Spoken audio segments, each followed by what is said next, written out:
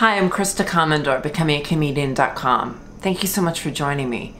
I want to thank everyone who's subscribed to my videos and liked my videos. And if you do like the videos, please give me a thumbs up and subscribe. Also, I would love any comments you want to leave on the videos. It's, it's always great to get the feedback. And I want to read a couple comments. I'm going to read uh, I'm going to read some positive comments, and there are also some negative ones.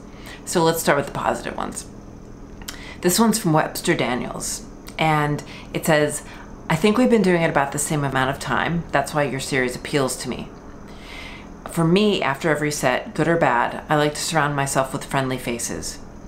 I hate being alone after a set, stuck in my own mind, worrying about what I could have done or said differently. I'll watch the video later on and work on my set, but right after I get done, I have to be around people. And I love that, I totally agree. The next one that I like says, I'm paying attention, keep it up. You're very brave. I guess I am brave.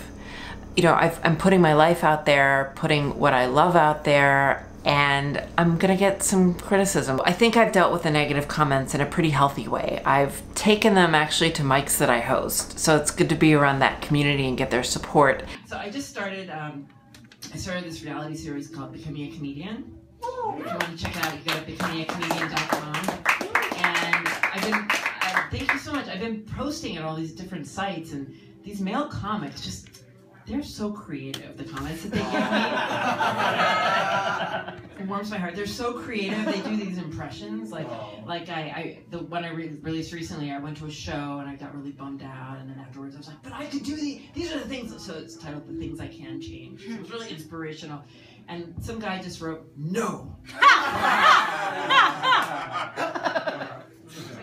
a great impression of a two-year-old child. I, was, I, was, so impressed. Some of the negative comments I've received say, this is for newbies, you're telling me stuff I already know. Really, it's just about my journey. And I wanted to do this because there's so much interest in stand-up comedy right now that I wanted to show lay people or normies what this world is like because I find it really fascinating and I really love it.